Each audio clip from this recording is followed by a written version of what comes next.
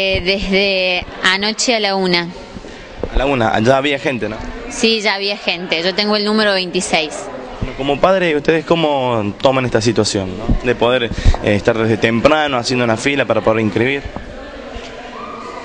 Y bueno, eh, la idea que aunque sea para encontrar, para encontrar lugar, o sea, la mañana ya no hay.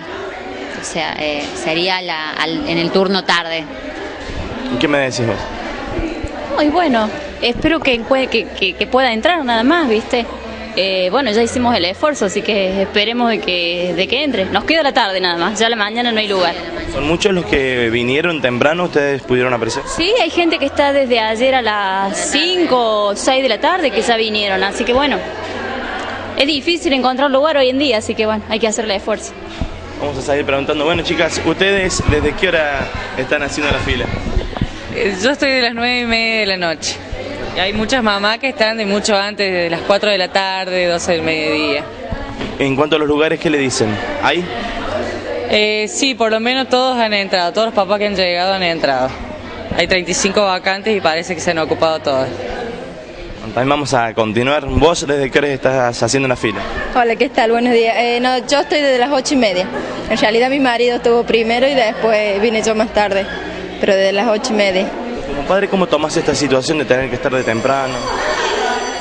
Y bueno, la verdad que es lamentable, ¿no es cierto? Pero hay que hacer un sacrificio por nuestros hijos y no nos queda otra por la cantidad de niños, la cantidad de, la demanda de niños que hay y los pocos jardines con los que contamos como para inscribirlos. Así que y sobre todo en estos tipos de escuelas que ya tienen primario, secundario, todo junto, entonces y es por una cuestión de que después en el día de mañana se nos haga más fácil cuando los tengamos que inscribir en la secundaria, ¿no es cierto?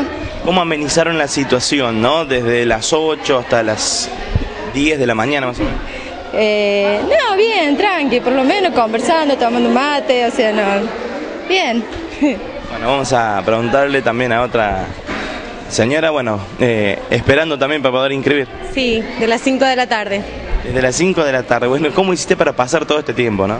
Y gracias a Dios nos ha tocado compañeros divertidos, así que la hemos pasado bastante bien. La noche fue larga, pero bien. ¿Cómo tomás esta situación? La verdad que era el comentario de los papás, que no podíamos creer que tendríamos que estar, eh, había un papá que a las 12 del mediodía que estaba, del día de ayer, esperando y bueno, no queríamos, no queríamos creer que teníamos que manejarnos de esta forma para que nuestros hijos puedan entrar a la escuela.